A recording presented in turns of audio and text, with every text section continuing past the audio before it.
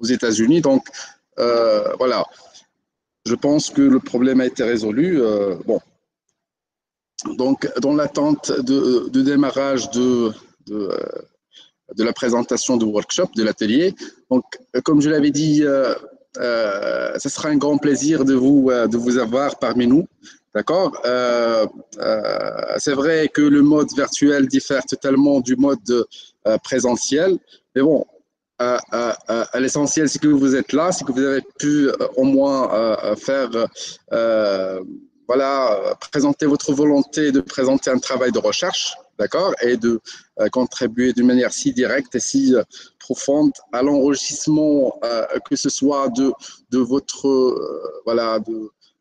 travaux, ainsi de créer de la valeur ajoutée et pour la recherche scientifique à la chaîne nationale et internationale. Si Ali, est-ce que, vous, est que vous voulez démarrer ou bien... Euh, bonjour, Siwaï. Bonjour, bonjour. Ça va? Ravi, ravi, de vous voir à distance. Bah, hier, nous étions en présentiel et aujourd'hui à distance. Très bien. À distance. Donc, c'est grâce à la technologie. Si, si c'est le meilleur. Alors, on est, on est là. On est là. Donc, on va commencer. Maintenant, on attend juste M. Assad Ben Brahim qui nous rejoint. Donc, il avait juste un problème technique avec son PC par rapport euh, au son et à la caméra. Donc, maintenant, il va, on, vient de le régler et il va nous, joindre par téléphone. Très, très bien. Très, très bien. Euh, euh, bon, je ne sais pas si vous êtes toujours à Tétouane, c'est Ali, mais il fait, très beau aujourd'hui. Il y, a, il, y a aussi bien, la plage hein, pour nos participants. Donc, c'est Selman connaissez, vous connaissez parfaitement euh, les plages de, de Tétouane, euh, Dakar. Donc, euh, c'est une invitation à, nos, à, nos, à, nos, participants de euh, voilà, d'en profiter. Comme vous le savez, Tétouane, Dakar en juin, juillet, août, c'est agréable pour passer vos vacances. Et euh, euh, donc l'année prochaine, nous essaierons d'organiser un autre événement en, juin pour à la fois donner la possibilité de profiter des vacances et de voilà de de, euh, de faire aussi bien des, pas mal de présentations scientifiques. Donc pour avoir les, les, les, deux à la fois. Merci bien, Siwail. Donc, euh, concernant normalement tout ce qui est côté organisation de, de l'événement, de la conférence internationale, je peux vous dire que c'était parfait euh, côté organisation. Même, euh, même vous, normalement, les doctorants qui étaient avec vous, le doyen, la, la vice-présidente, Sisselman, Madame Slimani, donc, euh, normalement, je peux vous dire que c'était un événement réussi avec euh, l'appui des, doctorants et des docteurs qui ont participé à l'événement. Parfait, euh, exactement, exactement. En fait, en fait, et là, j'ai l'occasion de, de remercier particulièrement deux personnes donc, euh, ayant travaillé, donc euh, c'est un projet qui a démarré, en, ça fait une année exactement. Nous avons démarré le projet de la conférence en juin 2020, là où nous avons commencé les négociations avec les publishers, d'accord? Euh, et là, je parle particulièrement de euh, Sisselman et Madame Khadija Slimani. Khadija Slimani, normalement, elle est programme chef, d'accord? Mais à vrai dire, elle est aussi bien, euh, euh, il a fait le travail pas seulement de, de, programme cher, mais euh, surtout de général cher. Donc, il a travaillé avec nous en tant que présidente, pas seulement en tant que programme cher, que je la remercie énormément. Euh, si euh, il a fait beaucoup de, de euh, je dirais, de, de sacrifices parfois, parce que, parce que vu ses engagements scientifiques et professionnels, quand même, il nous a accordé beaucoup de, de, euh, de, temps et beaucoup de, euh, il a fait beaucoup d'efforts pour euh, assurer, surtout donc professeur Selman et professeur Khadija, pour assurer la partie communication avec les participants, etc. Donc dans le but bien sûr de que les choses soient si claires, si pertinentes. Et je pense que jusqu'à présent, jusqu'à aujourd'hui, donc surtout durant les deux derniers mois, une campagne de communication avec les participants qui été si forte d'accord Pour bien éclairer, voilà, pour donner une vision si claire sur euh, l'enchaînement de l'événement et le, le, le, le, le déroulement de l'ensemble de ces activités. Voilà, donc euh, euh, je pense que euh, euh, euh, un événement en hybride est très difficile à, organiser. Hein. Je, je, ne vous le cache pas, parce que lorsqu'on parle de l'hybride, c'est-à-dire qu'il y a l'aspect euh, présentiel et l'aspect virtuel. Bon, l'aspect, je dirais, présentiel, très facile, mais si bien sûr s'il y a une équipe derrière et, euh, et, là, euh, comme il avait dit, euh, cher collègue, c'est Ali, euh, avec une équipe de euh, seulement trois doctorants et seulement trois étudiantes de master, nous avons pu voilà, faire le nécessaire en présentiel. Mais le plus difficile, c'est de faire le mélange entre le présentiel et le, distanciel, d'accord? Donc, chose qui a été euh, voilà, euh, euh, affecté au professeur euh, Slimani Khadija et professeur Selman. Donc, nous avons tenté de faire de notre mieux.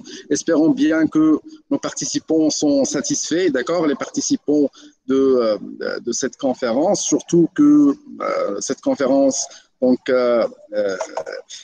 est considérée parmi les premières conférences en hybride, donc après la phase, après le, le, le, confinement sanitaire dans le monde entier. D'accord? Même ici au Maroc, donc, euh, comme vous le savez, euh, on vient de, de euh, voilà, de, de, se libérer petit à petit. D'accord?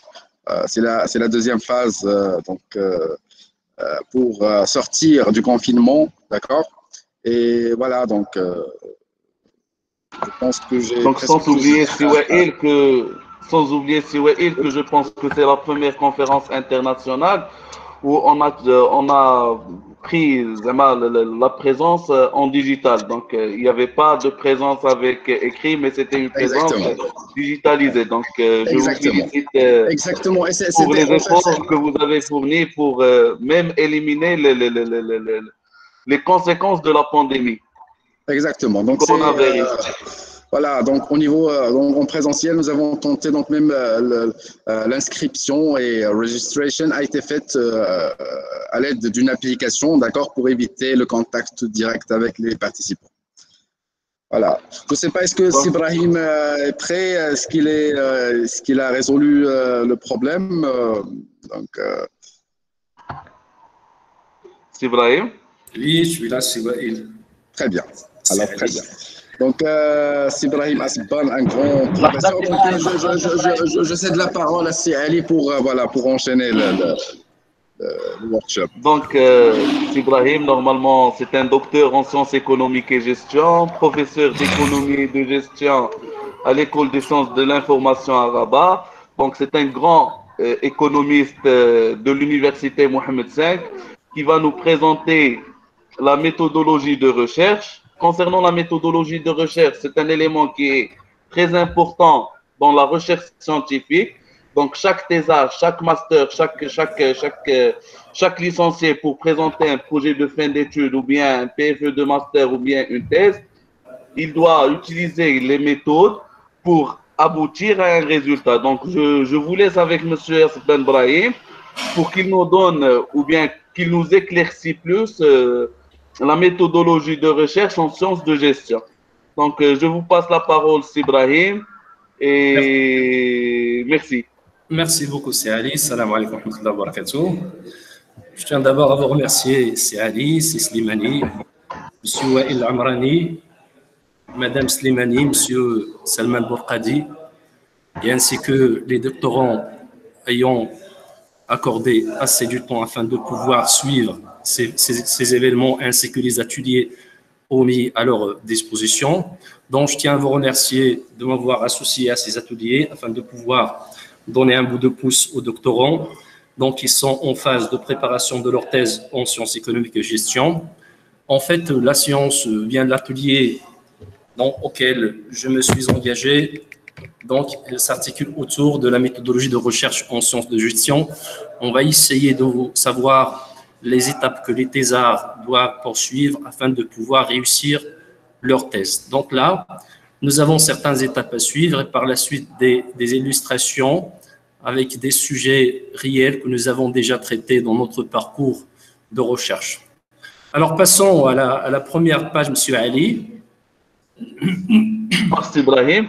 Avant de commencer, Ibrahim, je dois rappeler les doctorants et les docteurs qui participent qu'ils doivent mentionner leur nom euh, à chaque fois que je demande au niveau euh, de, normalement de la discussion. Comme ça, on va marquer leur présence. Merci.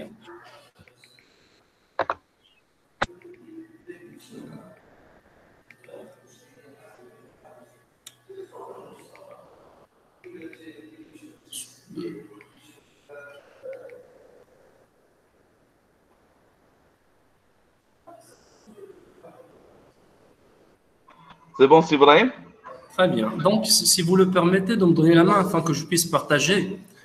Euh... Ah, donc, Anna, je vais enlever. Donc, vous pouvez partager votre écran, Ibrahim. Très bien.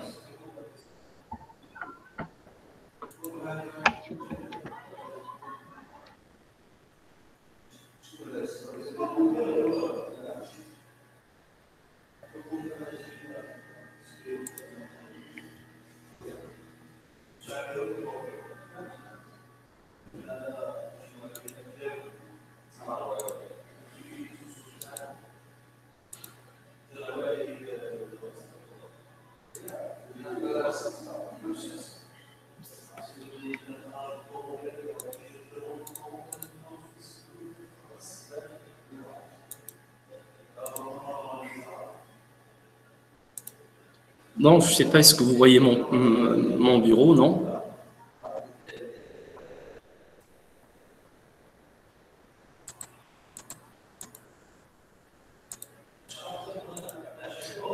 Très bien, Monsieur Ali. C'est bon, c'est partagé? Euh, Non, non. Pas encore. On ne voit rien. Est-ce que euh, vous avez cliqué sur présenter maintenant? Il y a qu'à, si, euh, Oui, oui, ce que j'ai essayé de faire, oui. Voilà. Présenter maintenant. Donc, euh, Cliquez sur, ou bien sur l'onglet, ou bien sur. Une fenêtre, soit, l'intégralité de votre écran. Donc, ce que je viens de faire, oui, c'est l'intégralité. L'intégralité, puis vous, vous, passez. Il faut cliquer sur, sur, sur le document. Si, si vous avez. Vous cliquez sur l'intégralité de votre écran. L'intégralité. Par la suite, vous cliquez sur la, la, la, la présentation. D'accord? Très bien. Et vous partagez. Très bien. C'est bon. Très bien. C'est bon, ça marche C'est très bien. Maintenant, on voit euh, normalement l'onglet Internet.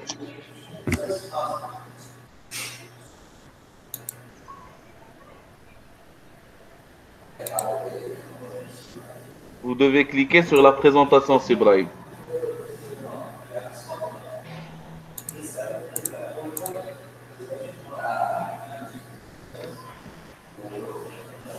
Cadê? Oi?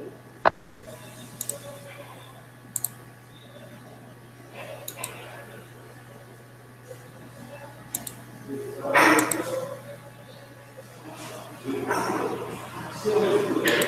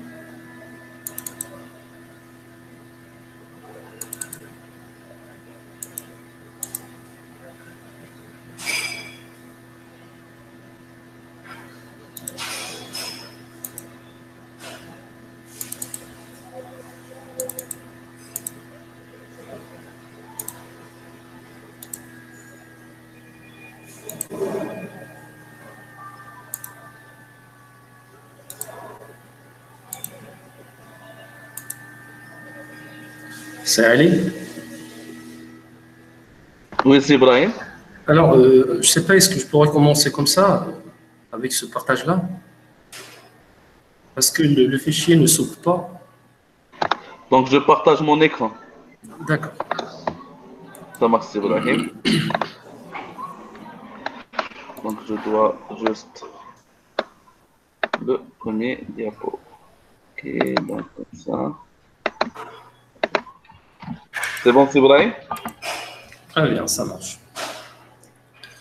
Alors, euh, notre, notre, intervention porte sur euh, la méthodologie de recherche en centre de gestion. Donc, nous allons aborder cette présentation de la problématique, de la conceptualisation de la problématique jusqu'à l'élaboration d'un modèle théorique.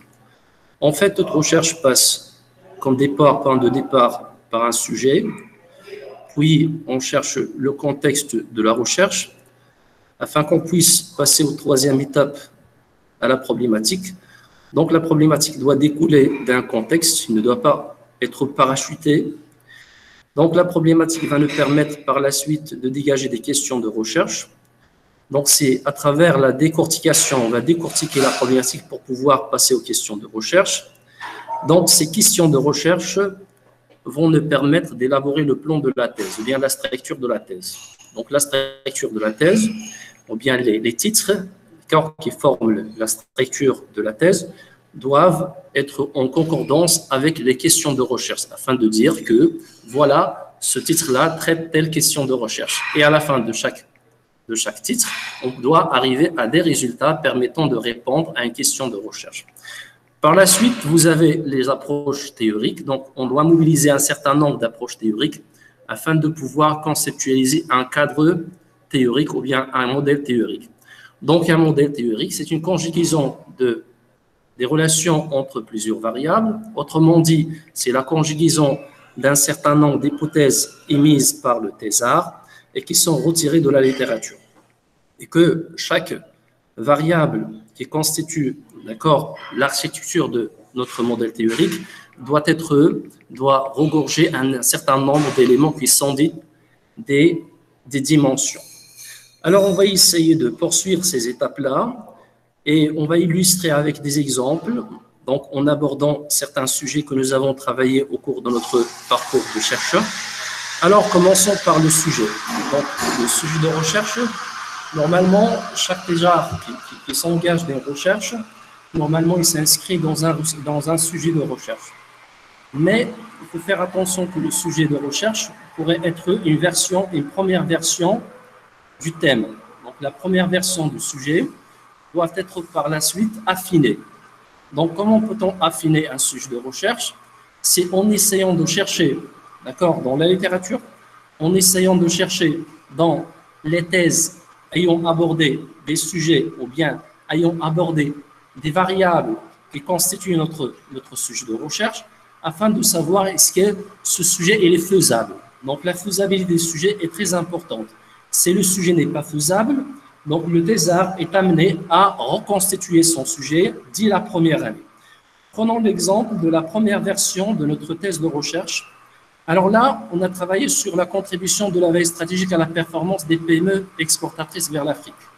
Une analyse par le management de risque. Alors si vous voyez ici, vous avez la variable explicative qui est la veille stratégique, et vous avez également deux variables à expliquer, à savoir la performance des PME exportatrices, et vous avez ici le management de risque. Là, si on voulait aborder ce sujet en gardant la même conceptualisation, ici, on est amené à mobiliser deux théories, deux revues de littérature. C'est la raison pour laquelle je vous conseille de reconstituer le sujet, de revoir le sujet afin d'arriver à la deuxième version. Alors là, si on cherche, en cherchant dans la littérature et dans les études qui ont été faites, alors la veille stratégique n'a pas d'apport sur la performance primo, donc il n'a pas d'apport sur la performance. Alors la relation entre la veille stratégique et la performance ici n'est pas faisable.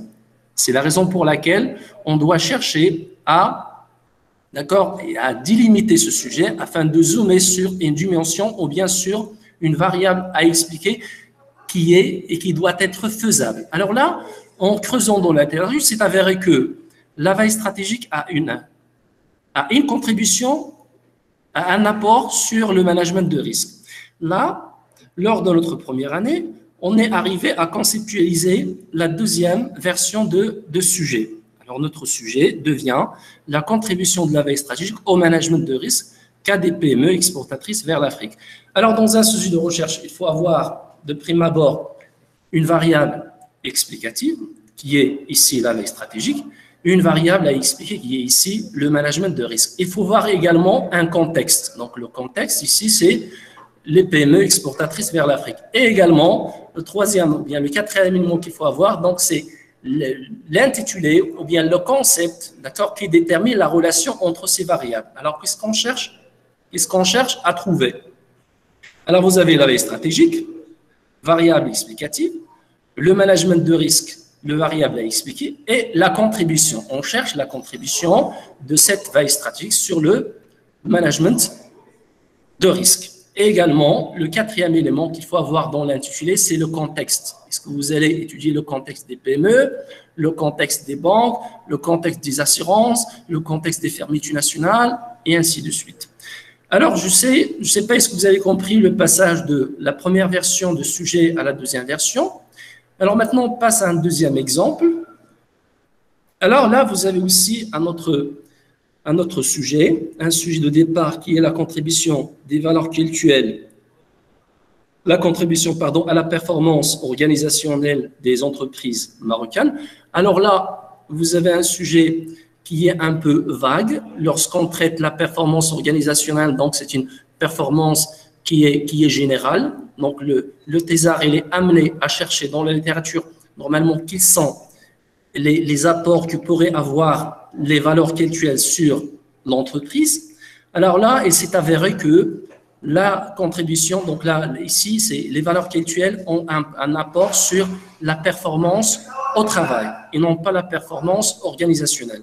Alors là, on est amené à reconstituer le sujet afin d'arriver à la deuxième version. Donc, arriver à la deuxième version, donc la deuxième version de ce sujet. Donc, on va essayer de mettre ce, cette deuxième version qui est en bas parce qu'il est relatif au sujet précédent. Alors, la deuxième version qu'on peut retirer de cette première version, c'est que la contribution des valeurs culturelles à la, performance au travail. Donc, deux points on va traiter, on va cibler les PME, les PME marocaines. Donc les PME marocaines, soit on va travailler sur les PME en général, sans spécifier, soit on va spécifier le secteur. Alors là, la spécification des secteurs n'est pas déterminante parce que quand on parle des valeurs culturelles, donc les valeurs culturelles, ils sont la charte de valeurs culturelles, elle est, elle est pratiquée dans certains PME. Il n'y a pas de différence. Donc le changement d'un contexte à un autre contexte, le changement des PME d'accord, d'un tel secteur à notre secteur, donc n'est pas déterminant. C'est la raison pour laquelle on peut garder les PME marocaines. Alors, si on passe par exemple à la troisième, au troisième exemple, ici vous avez l'impact de l'Open Sky sur la performance des secteurs aériens et touristiques. Le cas du Maroc. Alors là, si vous voyez, alors comme je l'ai déjà avancé au départ, donc il faut avoir quatre éléments. Donc le premier élément, c'est la variable explicative. Donc ici, nous avons le, le sky. La variable à expliquer, ici, nous avons deux variables à expliquer, à savoir la performance du secteur aérien et la performance touristique.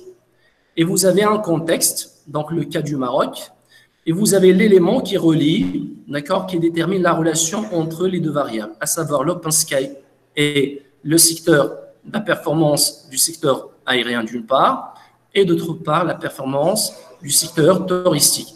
Alors, je, vous invite ici à penser à, une à la reconstitution des sujets.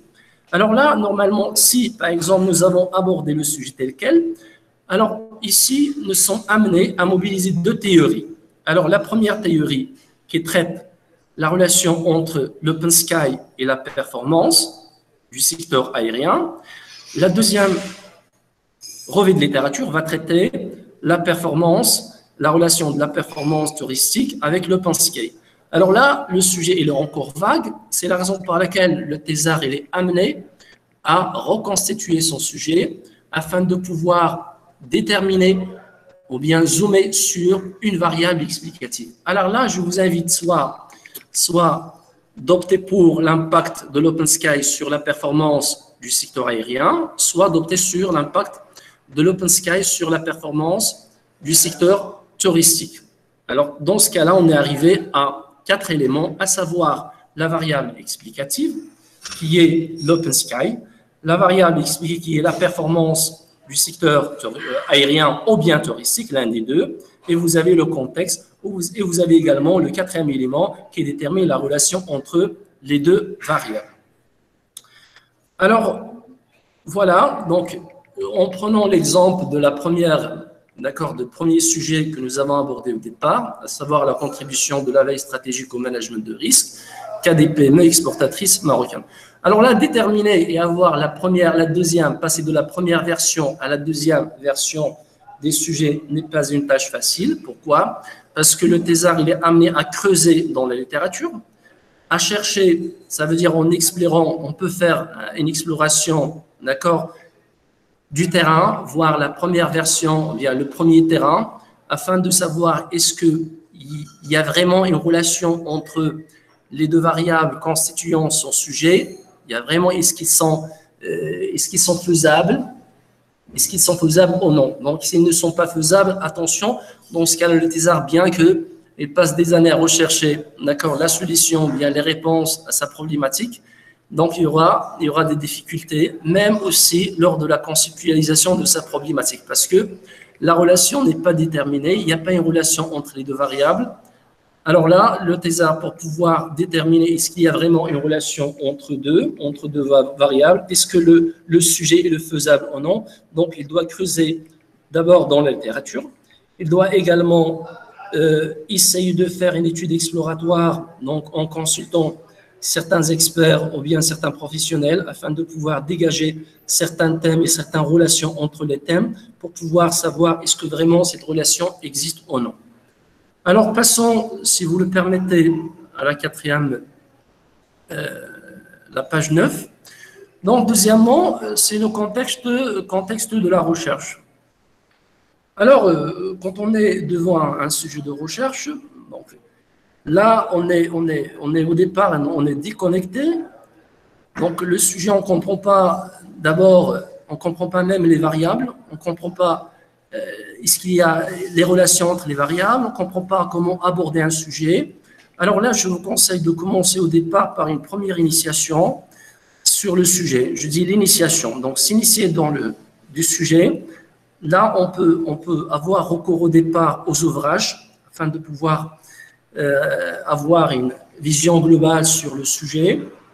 Donc, quand on, quand on cherche dans les ouvrages, donc là, il faut chercher, donc il faut savoir chercher. Donc, il faut chercher les variables, les deux variables. Donc, à savoir, en prenant notre exemple, le, la veille stratégique comme variable, il faut, chercher qu'est-ce que la veille stratégique, donc quels sont les apports ou bien les finalités de la veille stratégique, donc qu'est-ce que, que le risque, donc comment gérer un risque, est-ce que il y a une relation entre la veille et le management de risque. Donc, dans les ouvrages, on peut avoir une première initiation sur le sujet.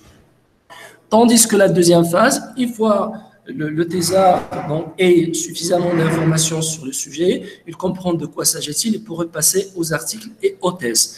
Parce que comprendre, euh, oui, comprendre les résultats, ou bien euh, savoir, ou bien maîtriser, ou bien décortiquer un article ou bien une thèse n'est pas une, tâche facile pour un thésard qui a commencé, qui est en première année. Donc, surtout lorsque le thésard n'a pas d'information, n'a pas de connaissances sur, sur son sujet.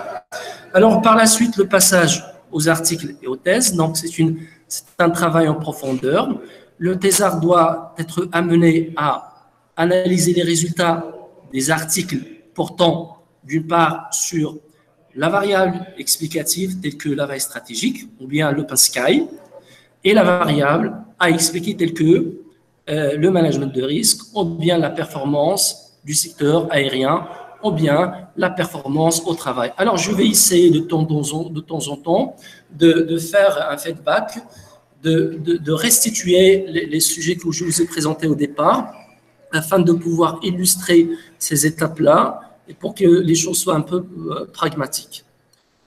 Alors là, on cherche dans les thèses et, les articles, on doit analyser les résultats et principalement, on doit passer aux limites et aux perspectives. On doit relever quelles sont les limites de, ce travail d'article ou bien de thèse et quelles sont les perspectives avancées par euh, l'auteur de l'article ou l'auteur de la thèse. Dans ces perspectives-là et ces limites-là, c'est elles qui vont nous permettre d'accord, de se lancer dans la recherche. C'est elles qui vont nous permettre de détecter le manque. D'accord Qu'est-ce qui manque dans la littérature? Qu'est-ce que manque comme étude de terrain? Donc, et c'est à partir de cela, de cela qu'on pourrait conceptualiser notre, notre problématique. Alors, il y a une autre méthode. Là aussi, on peut, on peut faire une exploration. Une exploration, il y a ce. Donc, on revient à la page précédente, Monsieur Ali. Alors, pour l'exploration, c'est le premier terrain. C'est une exploration évoquée ici. C'est pas une exploration que vous allez mettre dans votre thèse. C'est pas une exploration qui va être menée pour purifier votre modèle, parce que là, on n'est pas encore arrivé à la phase de la conceptualisation d'un modèle, même pas des hypothèses. Donc, on peut explorer le terrain donc en ciblant un échantillon réduit de 5 ou bien 7 cas pour pouvoir relever les thèmes. les thèmes, donc est-ce qu'il y a vraiment la veille stratégique dans les PME Les ce thèmes, qui sont les dimensions ou bien les conditions de la réussite de la veille stratégique? Je prends l'exemple de la veille stratégique comme la première illustration.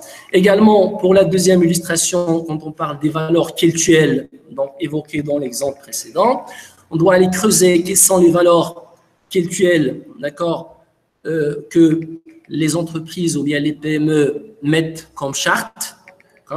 Par la suite, quelles sont les, les dimensions, ou bien les thèmes, ou bien les conditions de la réussite de ces variables pour qu'une variable soit efficace. Donc, normalement, il faut décortiquer ces dimensions.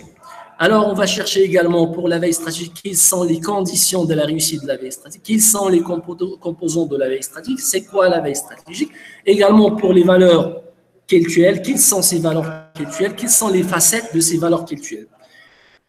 Et par la suite, on passe à la, variable A explicative, à savoir le management de risque, comme le premier exemple, ou la performance au travail comme le deuxième exemple pour chercher dans ces entreprises explorées, donc ils sont comment les, les, les managers procèdent afin de pouvoir gérer les risques à l'export. Ça, c'est pour la gestion de risques. Également pour la performance au travail, quelles sont les méthodes et les outils utilisés et mobilisés par les managers afin de pouvoir stimuler la performance du personnel. Et également, on va savoir également la troisième étape, donc la relation entre eux avancée par, par ces professionnels, la relation euh, qui est susceptible d'être dans ces, cas étudiés entre la variable explicative et la variable à expliquer. Là, on va, euh, avant d'entamer ce, premier terrain, il faut conceptualiser un guide d'entretien le guide d'entretien, dans ce cas-là, doit être un peu réduit. Il faut poser des questions ayant lien d'une part avec votre sujet de recherche. Deuxièmement, les interrogations qui se posent dans votre tête. Vous dites, bon, quels sont les risques? Je dois d'abord savoir quels sont les risques auxquels sont affrontés les PME. Donc, il faut leur poser la question. Donc, quels sont les risques auxquels donc, ils remettent en cause votre réussite à l'export? Premièrement. Donc, si vous le permettez, M. Adil, j'aimerais expliquer cette exploration à partir des sujets euh, abordés dans la, page 5, je crois.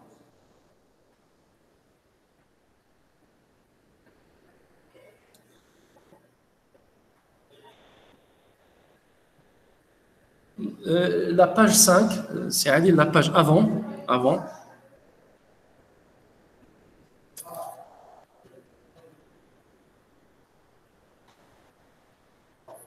Oui, on reste ici, Monsieur Ali. Alors là, euh, vous avez la veille stratégique, vous avez le management de risque, passer à la deuxième version.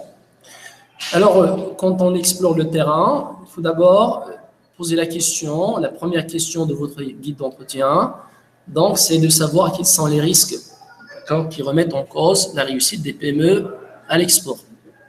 la première question, il faut recenser l'ensemble des risques qui remettent en cause les entreprises exportatrices, qui remettent en cause leur réussite à l'export. Puis, vous devez savoir poser une question aussi dans votre guide d'entretien qui porte sur quelles sont les techniques ou bien les moyens mobilisés afin de pouvoir gérer ces risques.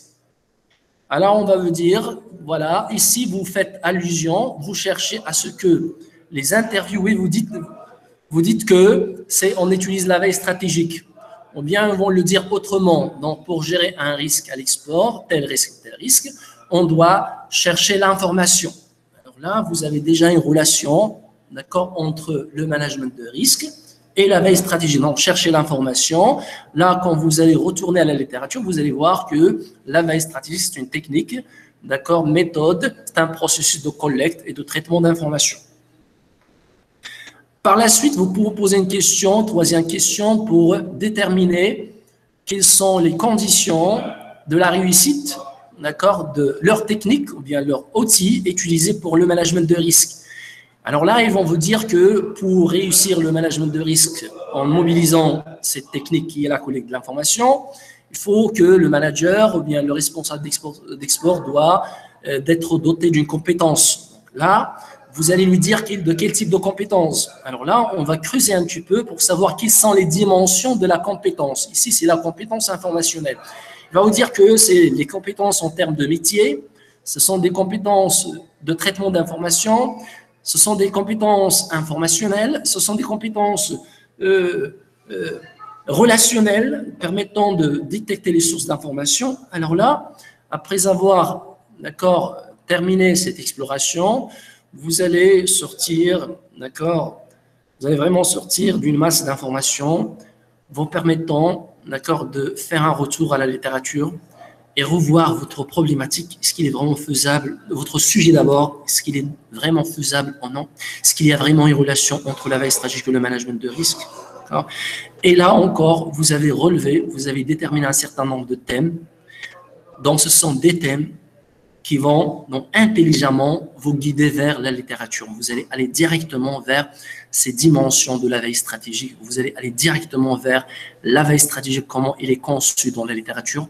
Vous allez aller directement vers le management de risque, comment il est conçu dans la littérature, mais toujours en faisant référence à ce qui est dit par les professionnels. Et également la relation entre les deux variables, telles qu'il est mentionné par euh, les professionnels, ou bien les cas étudiés, également aller revenir à la littérature pour savoir est-ce que c'est vraiment, il y a cette relation ou non. Alors là, c'est une, donc, ce qui est l'approche adoptée dans votre exploration. Donc, je dirais que c'est une, si vous voulez, une approche inductive. Donc, l'induction, vous allez aller au terrain pour faire sortir certaines variables, certaines relations, et par la suite, vous allez chercher dans la littérature afin de pouvoir, là, je ne vous demande pas de, d'accord, vous n'êtes pas dans, dans l'approche vraiment purement inductive, vous n'allez pas, d'accord, vous n'allez pas, pas être dans le constructivisme parce que opter pour le constructivisme, ça demande assez de compétences, assez d'expérience. vous n'allez pas conceptualiser un modèle à partir de la de l'exploration, mais ici, vous allez, euh, c'est un moyen vous permettant d'accord, d'avoir une feuille de route pour pouvoir faciliter euh, l'exploitation de la littérature. Alors, merci, monsieur. Allez, on passe aux autres pages.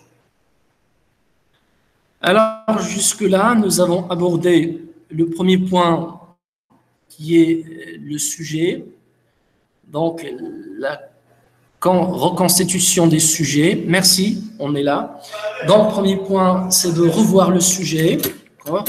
Non, parce que parfois, les sujets énoncés peuvent être soit, ils traitent, d'accord, ils un phénomène qui est assez vague. Donc, plus le phénomène ou bien le, le sujet traité est vague, plus vous allez, vous allez dépenser assez du temps et peut-être vous allez, vous n'allez pas, d'accord, en sortir. Deuxièmement, aussi, ça vous permet aussi de savoir est-ce que la relation entre les variables que vous avez dans le sujet, elles sont faisables ou non. Également, vous allez, ça vous permet aussi également de, zoomer sur un ensemble déterminé de variables, afin de pouvoir, dans plus, c'est on traite plus, de variables, c'est on traite plus d'éléments, donc là, là, on va être dispersé dans la recherche. Et également, on va traiter une thèse donc, qui aborde pas mal de choses, mais ces pas mal de choses ne sont pas cohérents et que là, on creuse pas assez. Donc là, plus vous zoomez dans un sujet de recherche, plus vous allez creuser assez, vous allez aborder, d'accord, et traiter et faire avancer des résultats pertinents. Maintenant, on passe au troisième point, donc c'est le, le, contexte de la recherche. Donc ici, c'est le, le contexte de la recherche, c'est le deuxième point, si vous le permettez. Donc là, on est déjà, d'accord, on a déjà fait une vision globale sur d'accord, les variables constituant notre sujet de recherche, euh, soit à travers euh, l'étude approfondie des, articles ou bien des thèses traitant les dimensions. Je dis traitant les dimensions ou bien les variables, parce que vous n'allez pas avoir une thèse qui traite la relation. Sinon, votre thèse ne sera pas crédible. Ça veut dire que le sujet est déjà traité. Donc, vous allez trouver sauf soit euh, donc une variable, vous allez chercher une variable. Par la suite, donc, vous allez avoir plusieurs paniers d'accord, documents. Dans le premier panier, vous allez euh, rassembler l'ensemble d'articles ou bien des thèses qui traitent la veille stratégique. Vous auriez un deuxième panier qui traite le management de risque, donc constitué d'une centaine d'articles. Vous auriez également un, un autre, euh, autre panier qui, qui, qui, qui est composé d'articles ou bien des thèses qui traitent euh, plus ou moins la relation ou bien euh, d'une façon implicite, parce que explicite, vous n'allez pas le, trouver, la relation entre les variables. Alors là, je, je reviens à notre, à notre exemple, si, si vous le permettez. Euh, monsieur, si, si, vous le permettez de revenir au sujet de la contribution de la valeur culturelle à la performance au travail comme illustration. La page précédente.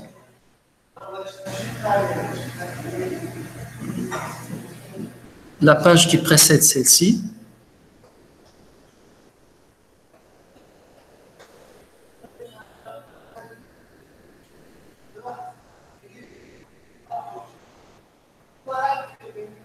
C'est Ibrahim, c'est la page 5. Oui, il y a une autre page qui précède celle-ci qui traite la contribution des valeurs culturelles.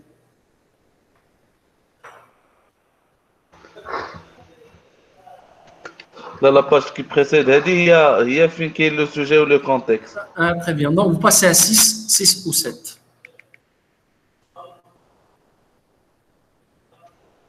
Six? C'est bon? Euh, Après, après? Oui, ici, merci. Alors là, si vous voyez, on va essayer de procéder aux mêmes étapes donc utiliser pour le sujet précédent pour pouvoir ici, oui, avant, avant, 6, oui, avant.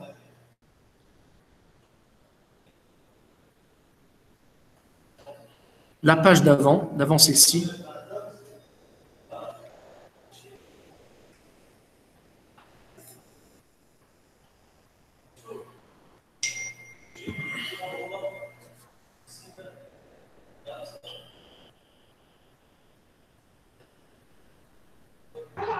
C'est Ibrahim? Oui, la page d'avant, celle-ci, la page 6. À la page d'avant? Avant, avant encore? C'est l'impact de l'Open Sky sur la performance du secteur aérien. Avant. Non, après, après, après, je crois. La page d'avant, c'est la contribution des valeurs. Oui, oui, c'est celle-ci. Très bien. Il y a après. Voilà. Donc, c'est la même chose ici. Donc, la contribution des valeurs culturelles à la performance. Vous avez pu voter? c'est allé, vous avez pu voter vers l'autre page Très bien, donc j'avance. Donc là, on prend l'exemple de précédent. Euh, non, euh, vous avez, vous avez, voilà, euh, avant. هادي Non, avant c'est Ali. شوفوش هادي مازال ما بانليش هادي لا كاين euh, Donc, et la contribution de la veille stratégique à la performance des PME C'est déjà traité. Quelle une autre? La contribution de, des valeurs culturelles. Quel est l'impact de l'Open Sky sur la performance du secteur aérien? Quelle est. Avant. Quelle la contribution des valeurs culturelles sur la performance organisationnelle des entreprises marocaines? Exactement. C'est ça.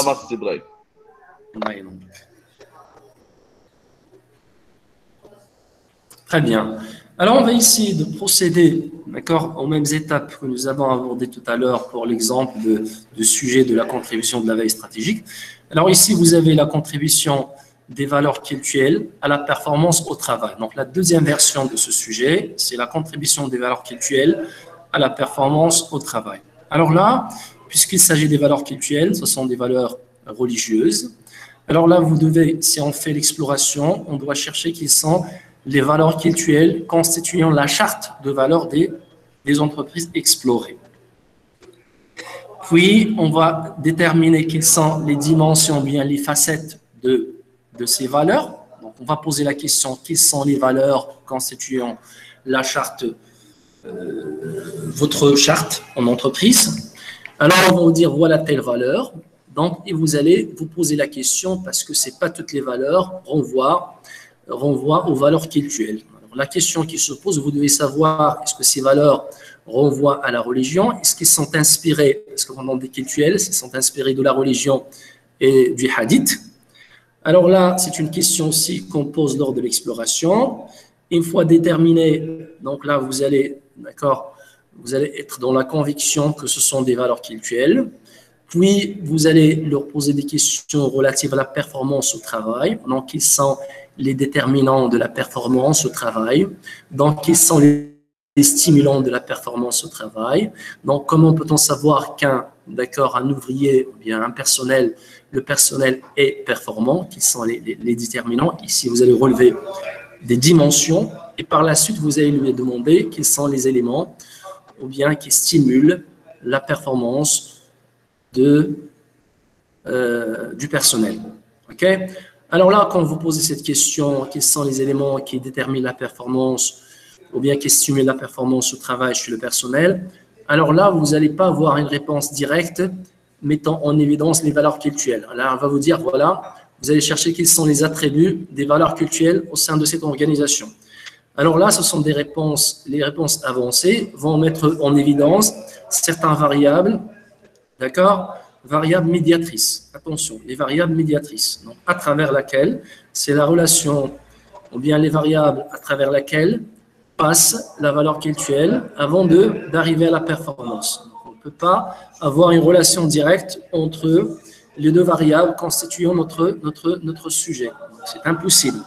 sinon, ce sujet ne mérite pas d'être un sujet de recherche. vous allez, à travers les questions que vous allez poser lors d'exploration, ils vont, vous allez relever certains thèmes qui mettent en évidence certaines variables qui sont des variables d'accord, euh, médiatrice, ça veut dire qu'il vient du média, qui sont au milieu, à travers laquelle passe la relation entre la veille stratégique et la performance.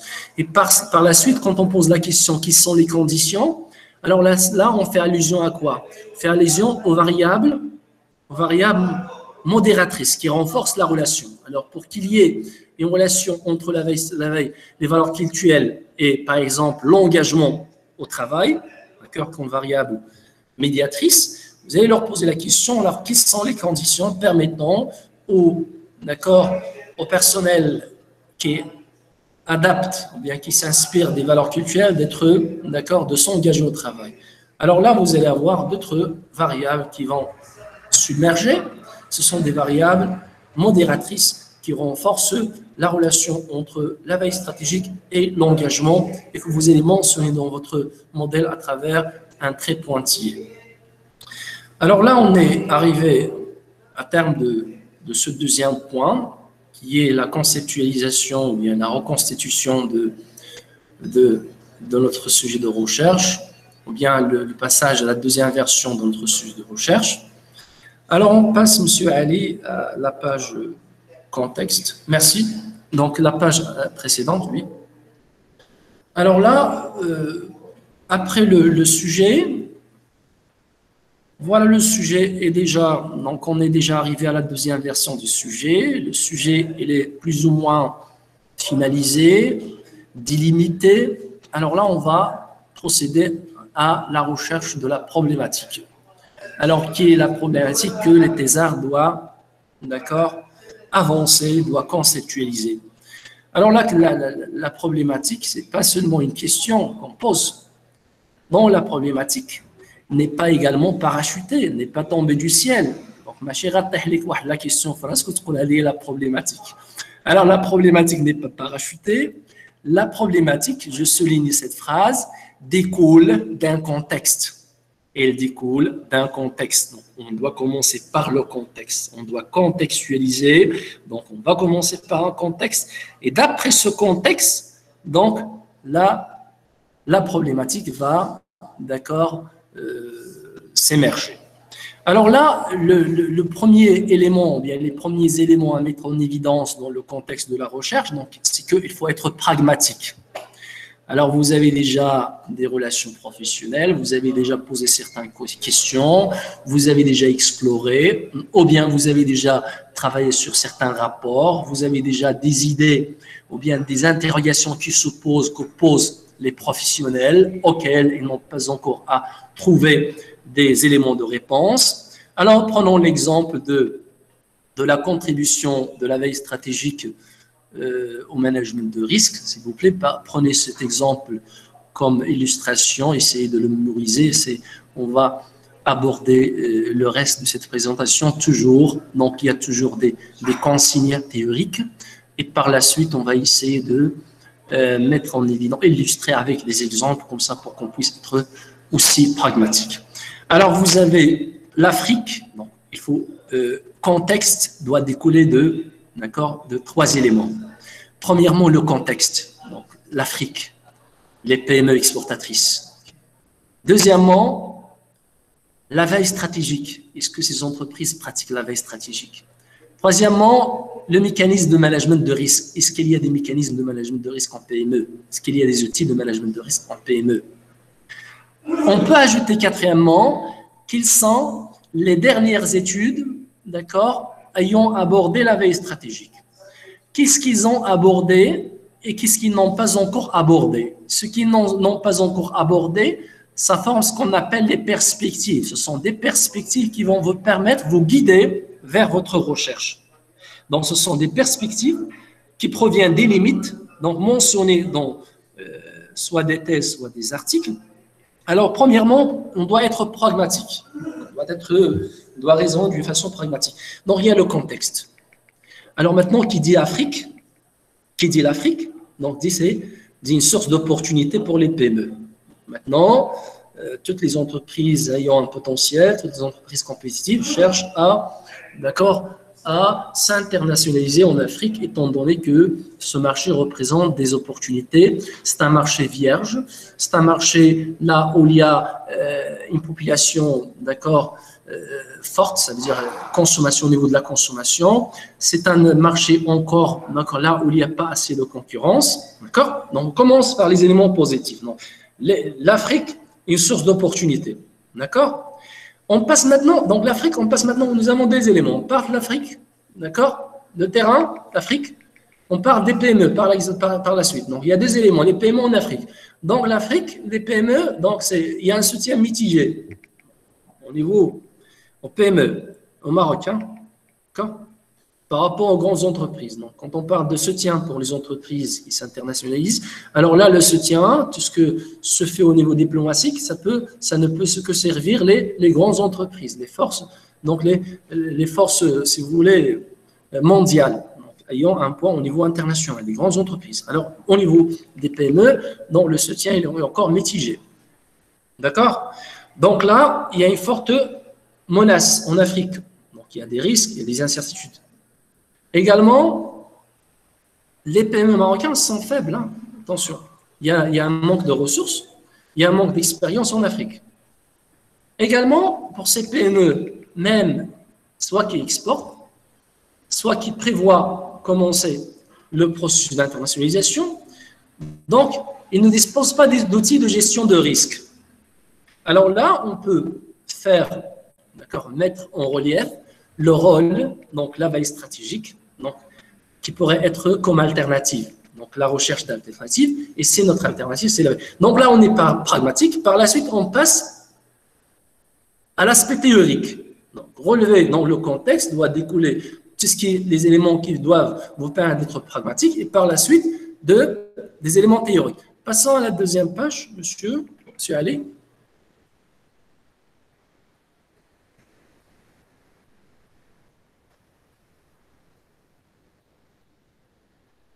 C'est bon, c'est vrai? Merci, c'est très bien. Alors, l'autre élément, euh, le deuxième. Oui, je suis là, c'est très bien, c'est très bien. Alors, le deuxième élément, donc, euh, donc vous allez creuser, c'est dans la littérature. D'accord? Donc, il y a, donc, premièrement, il y a un constat prometteur de la place de la veille en PME, qui est l'objet de l'étude. Donc, la PME, quand on parle de la PME, Attention, il faut faire attention au contexte. Donc, vous travaillez sur les PME, il faut chercher dans les PME, il faut chercher dans les entreprises, car faisant l'objet de votre, de votre exploration de, votre terrain. Donc, il faut chercher dans ce contexte-là quels sont les manques, quels sont les défis. Alors là, prenons l'exemple de, des PME. Donc, il y, a, un manque de ressources.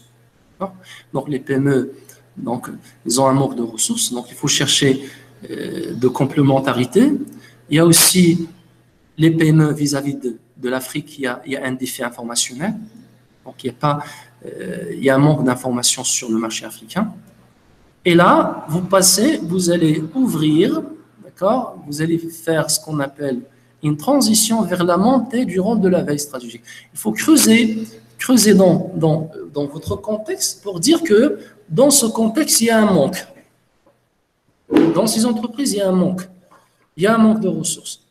Il y a un défi d'information. Il y a un manque d'information lors de l'exportation vers l'Afrique, bien l'expansion Alors, à partir de ce manque-là, vous devez mettre en évidence, vous devez, si vous voulez, vendre votre variable, le rôle de la veille stratégique, vendre votre sujet, votre, une partie de votre sujet, vendre votre variable explicative. Donc ici, la montée du rôle de la veille stratégique. Si vous faites attention les deux, le rôle de la veille stratégique pour combler le manque de, ressources. Avant, on a dit qu'il y a des manques de ressources, puis on va détecter ou bien relever le rôle de la veille pour combler ce manque. Et aussi, en, deux, vous avez le rôle de la veille stratégique pour relever les défis informationnels. Voilà, on est toujours dans le contexte. Donc, il y a un contexte, là, au départ, on doit être pragmatique. Commencer par les avantages de bien les éléments importants donc ils doivent montrer l'intérêt de votre sujet. Donc l'Afrique, c'est important, l'Afrique, c'est une sorte d'opportunité. Donc il faut mettre en évidence, en valeur, d'abord euh, l'intérêt de votre sujet. Et par la suite, donc pragmatique, donc voilà l'intérêt, par la suite on passe au problème. Est-ce que c'est clair? Donc il y il y a un intérêt en Afrique, il y a un intérêt pour les PME d'exporter en Afrique. Par la suite, on passe, donc essayer d'enchaîner, on passe au, problème. Donc il y a des problèmes, il y a, des risques, il y a, des risques dans le contexte de l'Afrique. Il y a aussi un manque d'outils chez les PME. Voilà, on est pragmatique. Il faut chercher d'autres alternatives. Donc l'alternative ici, c'est que vous devez vendre votre variable explicative. La variable qui est la veille stratégique la première variable. Il faut la vendre, montrer son importance dans votre thèse de recherche. Soit la veille stratégique, soit les valeurs culturelles, soit euh, l'open sky, etc., etc., etc. Donc, puis, quand on passe à la théorie, pour valider, d'accord, au niveau théorique, toujours, on est toujours dans le contexte, il faut montrer dans ce contexte-là, ou bien dans ces, euh, entreprises-là, ces PME, bien ces fermes multinationales qui font l'objet de votre recherche, bien ces, types d'entreprises, ce, ce, secteur, faut montrer qu'il y a des manques, qu'il y a des problèmes. Donc, il y a manque de ressources, problème. Il y a des faits informations, il y a un autre problème. Donc, certains problèmes qui vont submerger. Et par la suite, vous passez au deuxième point pour dire que voilà, voilà le rôle de cette variable explicative pour combler, pour répondre à ces deux défis. Manque d'information, vous avez petit 2, le rôle, le rôle de la veille pour combler le manque de ressources dans les PME. Deux, pour répondre aux deux, d'accord, de constat, du constat prometteur, le rôle de la stratégique pour relever le défi information. Donc là, on répond aussi au sous-problème de défi informationnel. Non, je crois que vous comprenez le contexte, comment ça marche, le contexte. Très bien. Donc là, on a déterminé le contexte. Une fois vous allez avancer ou bien votre problématique, votre problématique ne va pas être parachutée parce qu'il est découlé d'un contexte. Il est découlé d'un contexte et que la problématique doit être faisable. Et puisque le sujet est faisable, automatiquement, la problématique doit être faisable. D'accord. Alors, on passe à l'autre page, si vous le permettez.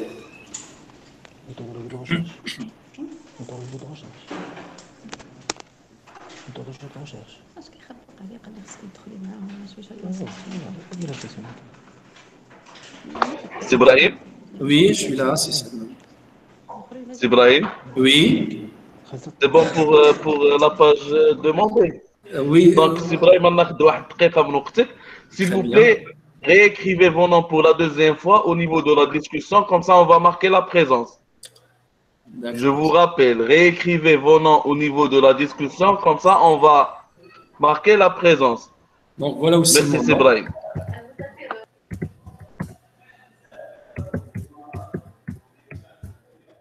Voilà mon nom.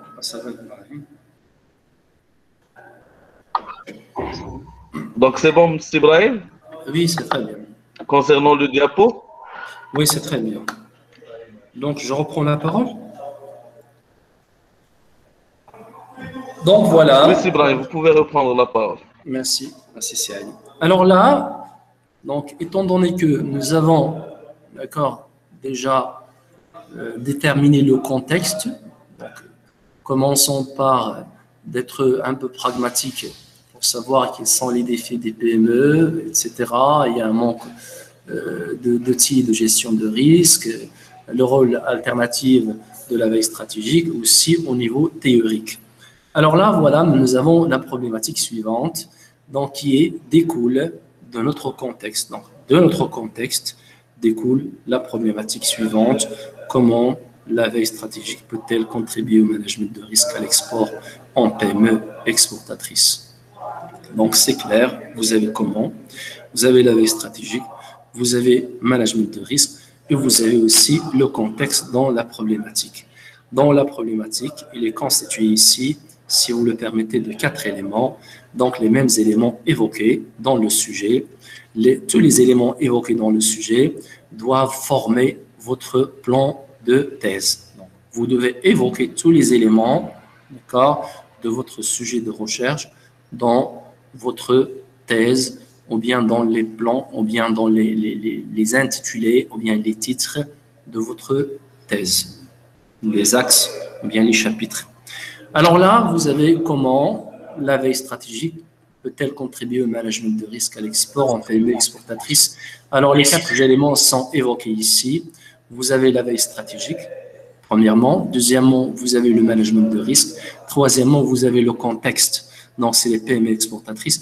Et quatrièmement, vous avez l'élément que vous cherchez, donc qui détermine ce qu'on cherche. Comment? C'est comment? D'accord?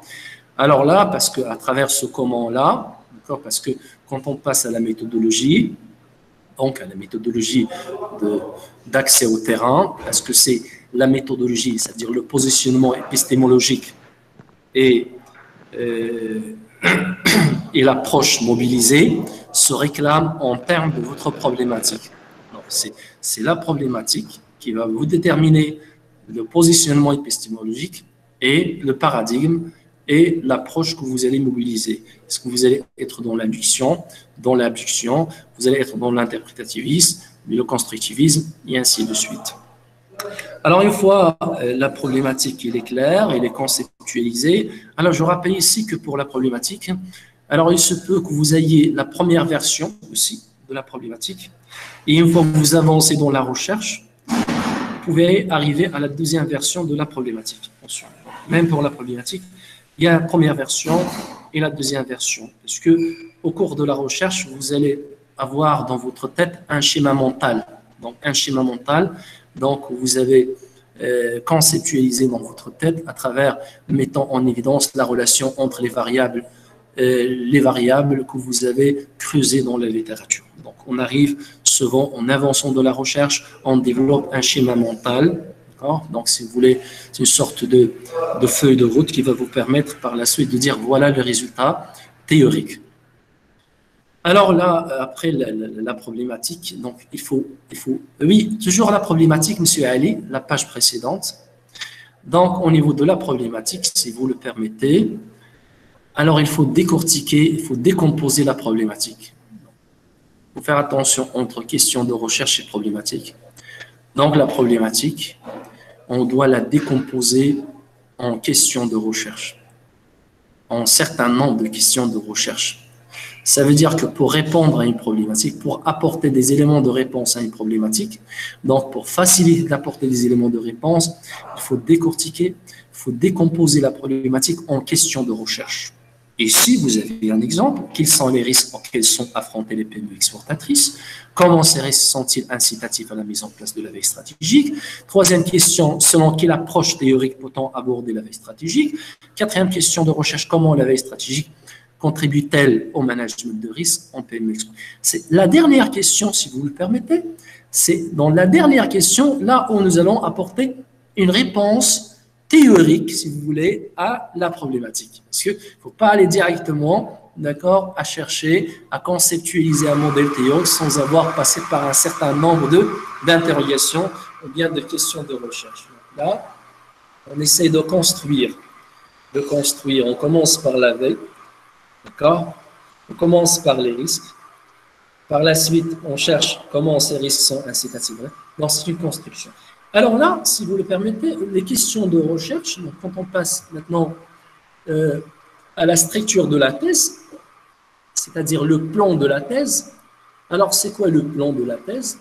Donc le plan de la thèse, c'est, ce sont, il doit être constitué des titres attractifs, et ce sont des titres qui ayant un lien avec les questions de recherche. D'accord? Donc, ce sont des titres qui permettent de dire, voilà, ce titre vient pour répondre à telle question de recherche. Passons à la page suivante, M. Ali.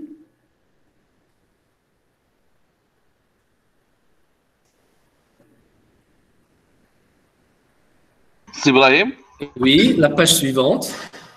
La page suivante, euh, Voilà, maintenant, euh, je ne sais pas est-ce que c'est visible ou non.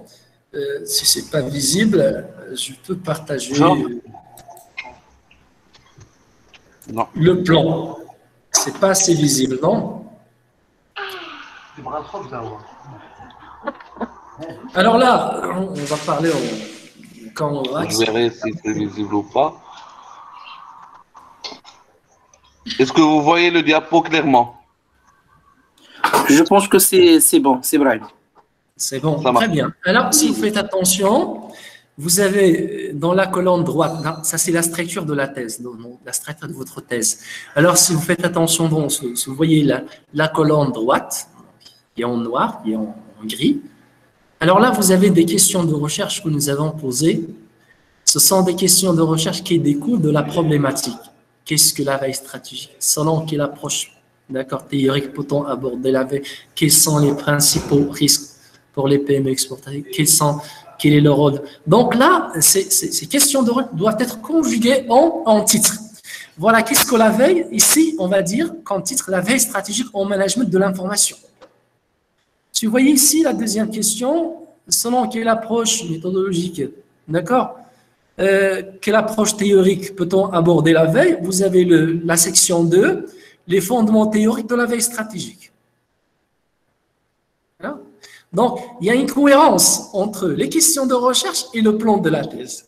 Alors, le plan de la thèse, c'est, ce sont des éléments de réponse, donc théoriques et empiriques, à la problématique qui sont avancés par des questions de recherche. Des questions de recherche qui découlent de la problématique. On va essayer de, s'inspirer ou bien de, de se fonder sur ce qui est dit dans la question de recherche pour avoir un titre. Donc là, quel est le rôle de la veille stratégique pour les PME exportatrices et quels sont les risques, les principaux risques? Ici, vous avez le titre Classification des risques en PME exportatrices. D'accord? Vous avez une autre question relative à, notre, notre, titre, section 2, dans le deuxième chapitre, relative, relative à la section, à la question 5. Donc, euh, analyse des risques en PME exportatrice. Vous avez également diagnostic des risques et, d'accord, et la mise en place de la veille stratégique. Donc, et ainsi de suite. Donc, si, j'ai bien compris, donc il y a des questions de recherche, donc qui provient de la décomposition de la problématique, et qu'à partir de ces questions de recherche, on doit, d'accord, on doit faire et battre un plan. On doit constituer, structurer notre plan. Parce que notre plan doit refléter les questions de recherche. Et que dans chaque élément du plan, on doit au final, à la fin de chaque section, il faut arriver à montrer, à déterminer les réponses à la question de recherche.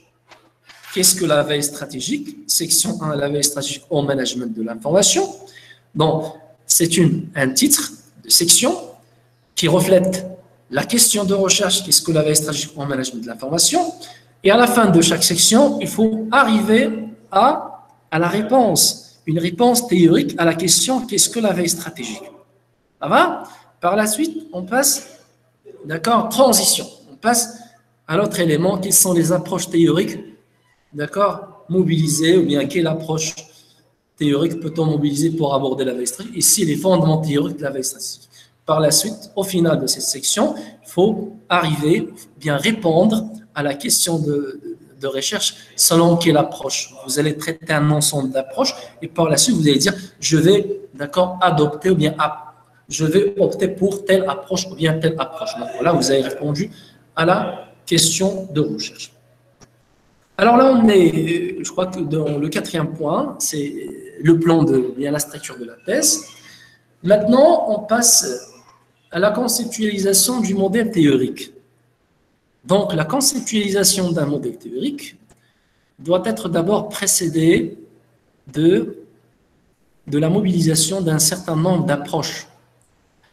Est-ce que dans une thèse, on n'écrit pas un roman? On n'écrit pas un roman. Donc, chaque hypothèse doit fonder sur une approche, ou bien le modèle tout le modèle doit fonder sur une approche, on vient plusieurs approches. Alors, quand on arrive à une hypothèse, il faut dire, d'accord, sur quelle approche vous vous fondez pour conceptualiser cette hypothèse? Ça veut dire, on ne va pas écrire tel dit, monsieur dit, l'autre dit, l'autre auteur selon X, Y par la suite. Voilà l'hypothèse. Mais quelle approche? Donc, pour consolider, pour donner une valeur, pour donner euh, un poids scientifique à votre hypothèse, donc il faut que votre, votre hypothèse soit fondée sur une approche. Alors, on passe à la page 14, Monsieur Ali, et je m'excuse vivement pour euh, ce, problème technique qui m'a empêché d'afficher ma présentation et de ne pas euh, supporter la peine à M. Ali qui, doit être vigilant avec nous. Très bien. Alors là, si vous voyez, vous avez une question. Selon quelle approche théorique peut-on aborder la veille stratégique? Alors, cette question, elle découle de la problématique. Et que cette question-là doit nous permettre d'avoir un titre, dans lequel nous allons aborder les approches.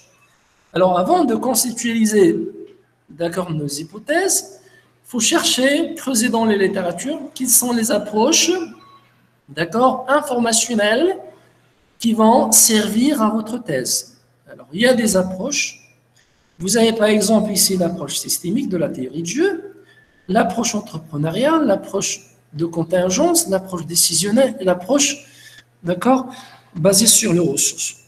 Alors, quand on dit les approches, vous avez des approches, et parfois on se dit que certaines approches pourraient être mobilisées pour plusieurs sujets. Mais faites attention ici, vous allez relever dans les approches les perspectives.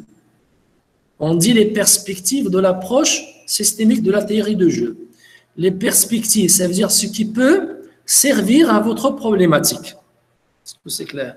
Vous n'allez pas prendre, vous n'allez pas aborder une approche et la traiter tel qu'il est avancé par les théoriciens faisant partie de ce courant. Alors là, vous allez zoomer, vous allez cibler les éléments de cette approche qui vont, qui permettent de servir à votre sujet, à votre question de recherche, à votre relation, à la relation entre telle ou telle variable. Alors on dit les perspectives, c'est là où s'inscrit l'originalité de votre apport théorique. C'est que vous avez pris l'approche et vous allez chercher dans l'approche les perspectives qui vont servir à votre, à votre question de recherche, à votre, euh, si vous voulez, hypothèse. Mais pas, on ne traite pas l'approche systémique comme, comme si on traite par exemple euh, une page ou bien deux pages de roman. Il faut prendre ou aller directement vers les éléments qui vont vous servir dans votre, votre. Alors là, nous avons mobilisé ces quatre approches, euh, ces cinq approches. Pourquoi? Parce que dans ces approches, il y a des perspectives qui peuvent servir aux relations entre les différentes variables de notre, notre problématique. Très bien. Donc, euh, si vous le permettez, M. Ali, je passe à la elle n'a pas su. Monsieur Ali, ici, si vous le permettez, essayez de partager le, pour qu'on puisse savoir étape par étape. Ça veut dire vous cliquez sur. Euh, C'est Brahim Oui. Oui. Alors, on aimerait que la présentation dans cette page-là, vous cliquez sur euh, le bouton en bas afin qu'on puisse suivre étape par étape. Normalement, sur Google Meet, c'est ça le problème. Normalement, quand on diapo.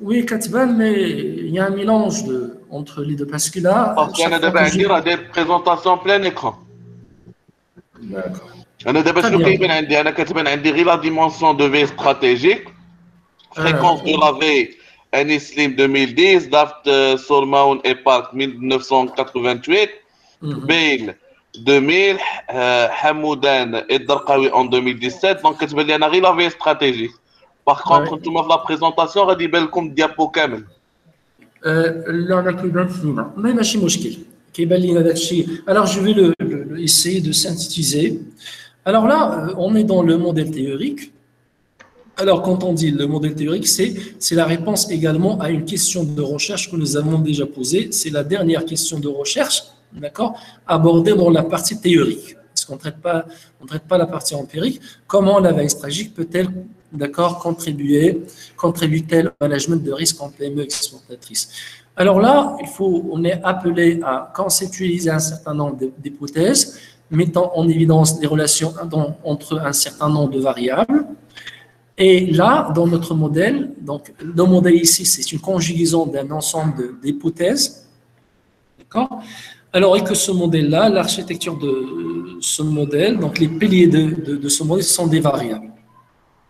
Alors, pour chaque relation, relation entre la veille et la richesse, par exemple, en source fiable d'information, pour chaque relation, on s'est basé sur une approche.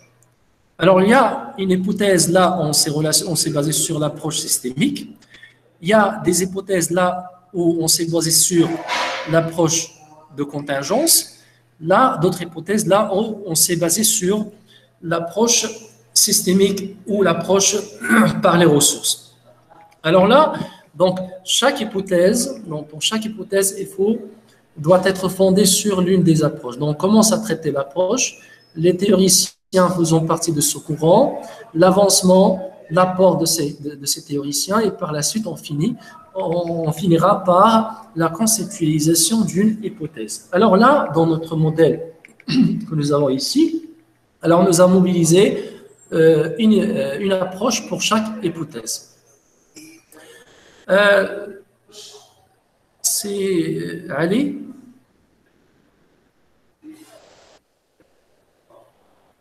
C'est Brahim. Alors, je crois que j'ai terminé. Sauf si, vous avez des questions. Donc, euh, on passe aux questions. Donc, euh, je pense qu'on a la première question de Madame Slimani Tissam. sa question est la suivante. Est-ce que je dois citer explicitement mes questions de recherche au niveau de la thèse? Bien sûr. Il, faut, les, présenter dans l'introduction générale. Il, faut, les présenter, il faut les recensé dans l'introduction générale de votre thèse et aussi dans la présentation lors de la soutenance. Hein. Parce que vous avez une problématique, vous avez annoncé la problématique, il faut, il faut montrer quelles sont les questions de, recherche qui découlent de votre problématique. Parce que ce sont des questions, à ces questions de recherche, d'accord, euh, euh, à, laquelle, ou bien auxquelles nous allons apporter des éléments de réponse. Oui, il faut les citer. Parce qu'on ne doit pas annoncer la problématique comme ça et par la suite commencer à répondre. Bon, il faut répondre parce que quand on répond à la problématique, on, répond graduellement. À cette question, cette question, cette question, et au final, on termine par la, réponse globale, oui. Donc, euh, pour ceux qui ont des questions, s'il vous plaît, soit levez la main, sinon écrivez vos questions au niveau de, de, la discussion. Donc, euh, Slimani Ptissem, si vous avez une autre question, vas-y. Euh, oui, merci Monsieur Ibrahim pour votre réponse. Alors, euh, compris, j'utilise mes questions de recherche pour élaborer mon plan de thèse mais est-ce que je suis euh, amenée à répondre explicitement à chaque question de recherche oui. au niveau de Oui, mademoiselle. Parce que ce sont des questions de recherche que nous avons posées et l'objet qui constitue l'objet de la recherche. Donc, il y, a, il y, a, un objet général, vous avez une problématique. Donc, la problématique détermine l'objet de votre recherche. Et que ce que vous cherchez, c'est la problématique, c'est vague. Alors, vous essayez de décortiquer cette problématique en question de recherche. Alors, pour chaque question de recherche, il y a un titre dans votre thèse, d'accord, qui dit que voilà, je traite cette question de recherche. Et par la suite, on termine par, quand on termine la section, on arrive à une réponse. Alors, si vous voulez, si vous voulez faire une thèse d'une façon rigoureuse, alors, moi, je vous montre la, la méthode à utiliser si vous voulez avoir avancer ou bien développer une, thèse dans les normes rigoureuses. Euh, d'accord, merci. D'accord, merci beaucoup, monsieur. Je vous en prie, mademoiselle. C'est pas facile, hein C'est pas facile de euh, d'avancer, d'accord, de, de, recenser un certain nombre de questions de recherche et de chercher à répondre à chaque question. Même dans votre présentation, dans, dans la soutenance, si vous voulez mettre en valeur votre soutenance, d'accord, essayez pour chaque élément avancé de commencer par question de recherche Non, question de recherche, apport théorique. Question de recherche. Donc, selon quelle approche théorique, telle, et vous avancez les approches. Comment tel, tel impacte tel, et vous avancez les hypothèses. Comme ça, on comprend qu'il y a une cohérence dans votre thèse. Euh, d'accord, Sibrahim. Donc, si j'ai compris, la sommation des réponses aux questions de recherche fera ma réponse générale sur la problématique. De la problématique, effectivement. Parce que c'est la dernière question. Écoutez, parce que si vous avez par exemple comment tel impacte tel, alors vous allez essayer de répondre graduellement. Qu'est-ce que tel? Qu'est-ce que Y? Comment faire tel? Comment faire tel? Et par la suite, la dernière question qui va, qui va vous permettre d'avancer le, le, modèle théorique comment tel, tel peut impacter tel. Donc là, c'est une réponse, la réponse à cette dernière question au niveau théorique. Je dis maintenant, on traite le niveau théorique. La question, la réponse à la dernière question, c'est le modèle ou bien les, hypothèses. Parfait, merci monsieur. Euh, il y a une question Ibrahim. Sadia. Il a dit la question. Donc, euh, je passe la parole à Ibrahim Bendris. Normalement, je pense qu'il a une question et après, je passe à la question de, de Madame Sadia Alia. Alors, merci, merci à Monsieur Ibrahim pour sa présentation qui a été claire malgré les problèmes techniques. Ibrahim, Ibrahim Drissi, oui. Drissi? Ibrahim Drissi. Attendez. Monsieur Ibrahim? Je pense que vous avez un, vous avez un problème de connexion.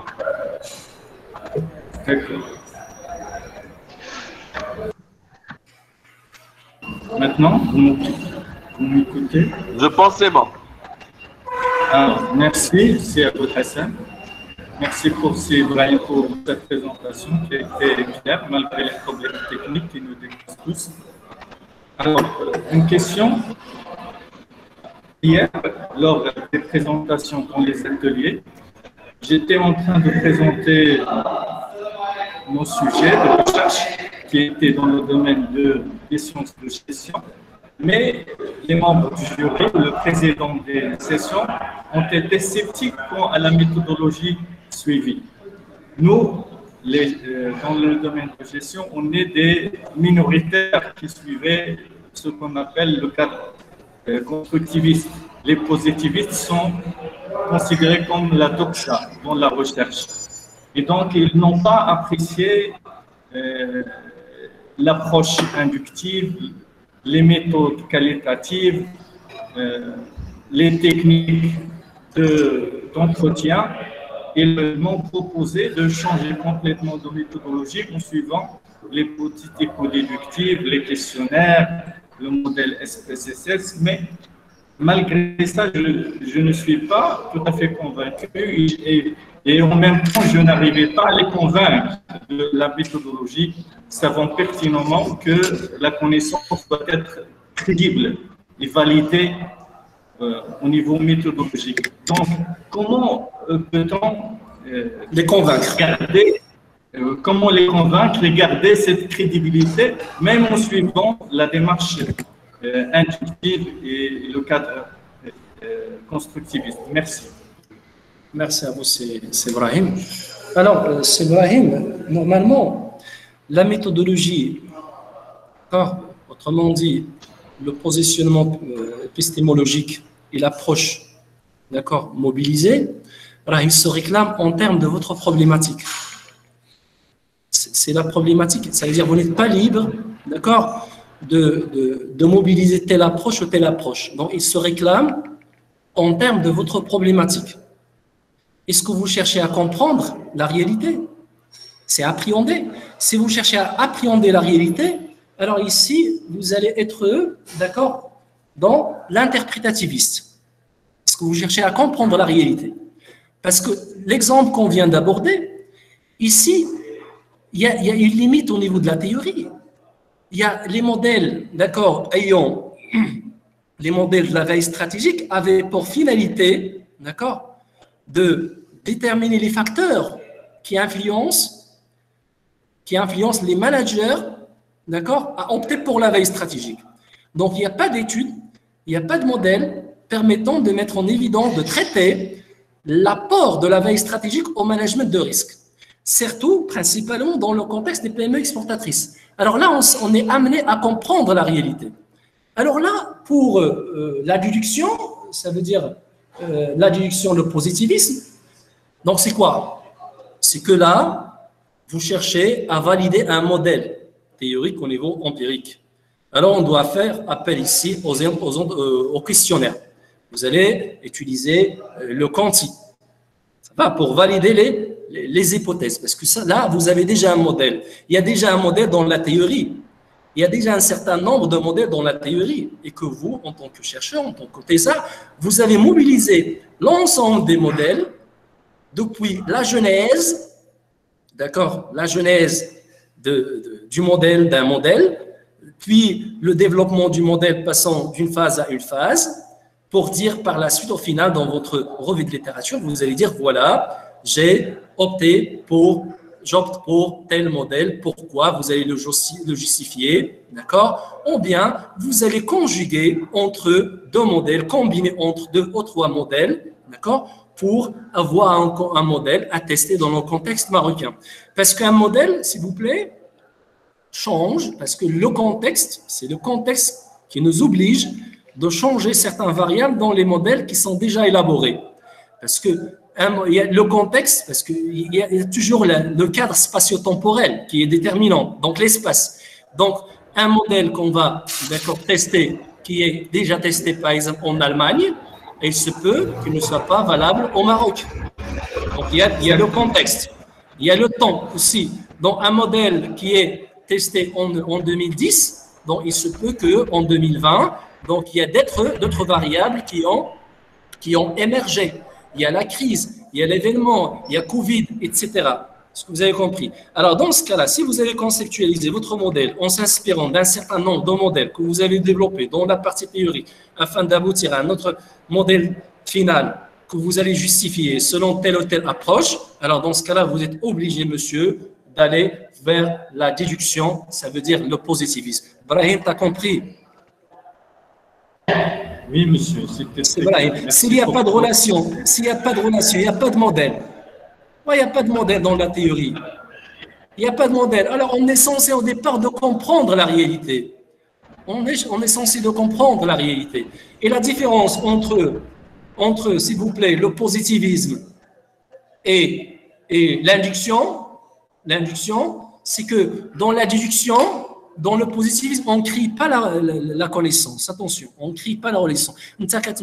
Vous validez, vous dites oui, confirmé ou bien non confirmé. C'est bon Parce que vous vous inspirez de la théorie. Alors que dans dans l'induction, alors on crie la connaissance. D'accord? On peut retirer, on peut relever certains thèmes, certaines variables du terrain qui ne sont pas encore, qui sont encore omises dans la littérature et qui sont propres au contexte marocain.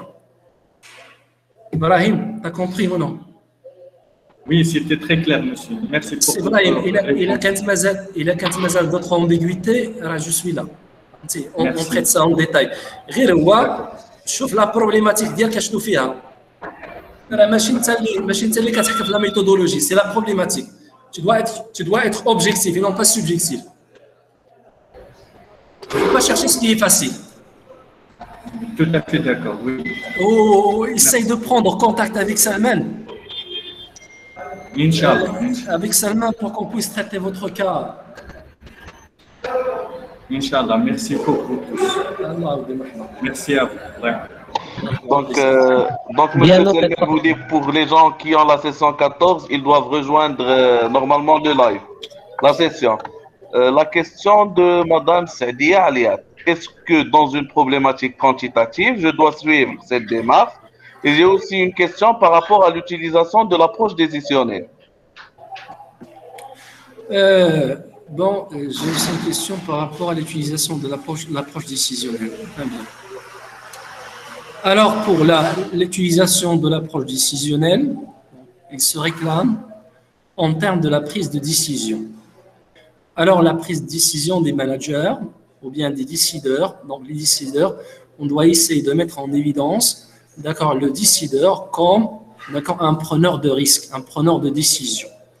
Alors, dans la théorie décisionnelle, nous avons relevé certaines perspectives qui disent que les, les managers donc, sont les plus aptes à prendre, à prendre le risque. Et à travers la décision, à travers leur décision, donc, c'est une décision qui doit être rationnelle. Donc, pour que la décision soit, d'accord, efficace, donc, il doit avoir recours, d'accord, alors, euh, aux sources d'informations et aux informations sélectives pour que leur décision soit efficace. Donc, ce sont des perspectives relevées dans cette approche-là qui disent que, d'accord, euh, des pères qui disent que le décideur, c'est le décideur qui prend la décision dans la théorie de la décision, et c'est lui qui prend le risque, et c'est lui qui pioche sur des ressources, des, euh, pioche sur, sur euh, si vous voulez, une base de données ou bien des blocs tels que les ressources en source fiable d'information et sa richesse en information sélective afin de pouvoir prendre une décision efficace et, d'accord, soit il peut réduire le risque, soit il peut l'éliminer. Il y a une autre question posée par euh, la même Donc, euh, on prend la dernière question de Madame. On prend la dernière question de Madame Soumia Idrissi Jezouli. Comme ça, on doit joindre les ateliers pour les présentations virtuelles. Merci, merci Si allez, sûrement, il faut rejoindre l'édition. Alors, euh, c'est la dernière question. Et Donc, avant de... Attends, Madame bonjour. Mhm. Alors, euh, Madame Soumaya, une minute, s'il te plaît. Euh, bonjour, donc euh, tout d'abord, je remercie par la présentation qui était assez riche et assez pertinente. Donc ma question, donc c'est par rapport aux approches théoriques. Donc euh, ce que j'ai compris via la présentation, c'est que les approches théoriques viennent consolider les hypothèses de recherche. Donc c'est juste des approches théoriques, elles sont vous retirez la littérature, bien les approches théoriques que vous avez citées, les cinq approches, on doit travailler avec pour euh, consolider et répondre aux hypothèses de recherche. Merci. Merci, parole et j'aimerais bien que vous soyez très précis. Comme ça, les études, les doctorants doivent rejoindre les, les, les, ateliers pour leur présentation virtuelle. Merci, c'est Monsieur Ali. Alors, euh, je vous informe, euh, je vous informe que les sessions vont commencer et je vous invite aussi, une fois vous présentez, rejoindre session 19. Au niveau de session 19, on va, on va, on va lancer clôture de, de la conférence. Est-ce que c'est clair, les jeunes? Alors, merci. Donc la session 19, c'est pour la clôture, c'est Slimane Oui, alors, euh, pour la clôture, c'est session 19. Il y a, il y a une, il y a une question de Soumaya, si vous le permettez, j'aimerais répondre ah, oui, à cette oui, question. Oui, à vous, à, vous, à vous le parole et à vous de, de, de, de clôturer l'atelier. Merci infiniment, cher Ibrahim, merci, merci infiniment. Merci. Et euh, je note aussi que M. Ibrahim, il va assurer un cours au niveau de la classe doctorale. Et Soumaya, je pense qu'il est membre euh, de, de, de, la classe, il va encore... Euh... Merci infiniment, c'est Assaban. Alors, merci à vous, merci, merci. Soumaya, pour les approches, parce que l'approche, ce n'est pas, pour renforcer l'hypothèse. L'hypothèse doit se baser sur l'approche. C'est quoi l'approche? C'est une vision. Quand on traite un sujet, d'accord? Alors, par exemple, l'informaticien va aborder le sujet selon une optique. Euh, euh, l'économiste va l'aborder selon telle optique et, par exemple, le, gestionnaire va l'aborder selon une optique. Alors là, parce que aborder des relations, il faut, s'inspirer, il faut se baser sur une approche. Donc, c'est quoi l'approche? C'est l'ensemble, l'ensemble des théoriciens ayant abordé la relation. Donc, que, que ces, théoriciens ou bien ces chercheurs doivent faire partie de telle approche. Ça va? Donc, il y a approche, il y a théorie. L'approche, c'est un peu vague que la théorie. L'approche, c'est l'ensemble des auteurs qui s'inscrivent dans un courant. de la perception, dit l'approche. Donc, doit se fonder sur. Si vous faites une, hypothèse sans avoir recours à une approche, si, comme si vous vous basez sur votre perception, votre propre perception. Et là, vous n'avez pas le droit. Vous n'avez pas le droit de, que votre hypothèse soit basée sur votre propre perception. Donc, il faut avoir la perception de d'autres, d'autres, euh, de certaines approches. Parce que les approches, il y a des approches. Donc, il faut chercher l'approche sur lesquelles il faut vous baser. Ça veut dire les théoriciens faisant partie de ce courant théorique. Qu'est-ce qu'ils disent? Comment ils voient la relation? L'hypothèse dire qu'elle est solide. Khadija, tu as compris? Euh, Oui. J'ai bien compris votre, votre, votre réponse. Merci beaucoup. Ou, je vais prendre contact. Enfin, je, je, note votre, je note votre contact, Selman. Et Selman oui, avec Selman. Et ça marche. Merci. S'il y a d'autres questions à préparer, parce que normalement aborder une méthodologie, on peut l'aborder pendant deux journées. On mhm. n'arrive pas à la terminer. Donc, on essaie de prendre, de mettre le point sur l'essentiel. Et si vous avez des questions de détail, donc c'est, il faut contacter M. Bourkadi. Alors, euh, je vous remercie infiniment. Merci Sébrahim pour la qualité de votre intervention. Je remercie les doctorants et je vous passe la parole pour un mot de clôture, Sébrahim. Merci beaucoup, c'est Ali. Donc, je tiens à remercier euh, M. Salman Bourkadi, Mme Slimani, vous, M. Ali, euh, M. Wael Amrani, euh, tous les professeurs et les doctorants ayant participé à cette, conférence. Et je vous remercie également pour cette initiative parce que c'est une occasion de recherche, c'est une occasion permettant aussi d'aider les doctorants à, à, mener, à bien mener leur piste de recherche et que j'espère que euh, cela ne s'arrête pas là. Donc, j'espère que les choses continuent avec M. Salman Borkadi pour qu'il puisse nous, nous organiser d'autres rencontres et pour que chaque donc, élément traité soit vu d'une façon pragmatique, il faut aborder chaque sujet à part. Donc, j'espère avoir d'autres occasions afin de pouvoir aborder euh, les sujets d'un certain nombre limité de doctorants afin qu'on puisse les accompagner, euh, les guider afin qu'ils puissent pouvoir euh, mener à bien leur, leur recherche. Alors, je vous remercie énormément et je m'excuse pour le problème technique. Hein. Non,